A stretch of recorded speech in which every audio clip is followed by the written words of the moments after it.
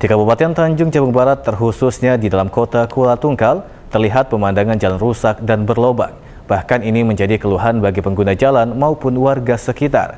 Warga meminta pemerintah dan instansi terkait dapat segera memperbaiki sebab jalan rusak dan berlobang mengurangi keindahan kota Kuala Tungkal.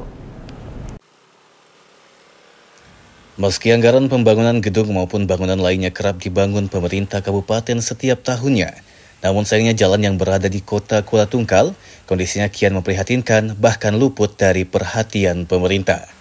Setidaknya terdapat belasan titik jalan di dalam kota Kuala Tungkal rusak dan berlobang, dan jika hujan jalan dipenuhi genangan air. Salah satu warga kota Kuala Tungkal, Mukhtar, mengatakan, ia sangat menyayangkan jika masih terdapat jalan di dalam kota Kuala Tungkal masih ada yang rusak dan berlobang. Bahkan jalan yang rusak dan berlobang tersebut kerap dilalui masyarakat. Ia selaku warga Kuala Tungkal meminta pemerintah serta instansi terkait dapat mengambil langkah untuk segera melakukan perbaikan minimal ditimbun dengan batu sehingga lubang tidak menjadi dalam.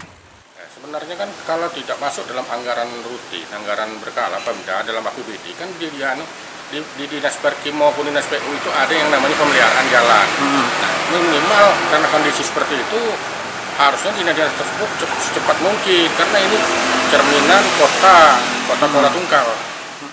Hal senada juga dikatakan Abdullah, salah seorang pedagang di pasar Parit Satu Lama yang mengatakan bahwa kondisi jalannya rusak dan berlobang. Juga terdapat di jalan pasar Parit Satu Lama. Bahkan kondisi rusak dan tak kunjung diperbaiki telah terjadi sejak tiga tahun terakhir. Dan hingga saat ini kondisi semakin rusak dan banyak berlobang dapat dibagusin lah di semen beton supaya jalan bagus. Ini kalau kita lihat sudah berapa tahun macam itu bang ya? Lubang-lubangnya. Ini melubang sekitar tiga tahunan lah. Tiga tahunan ya. Surya Kurniawan, Cek TV melaporkan.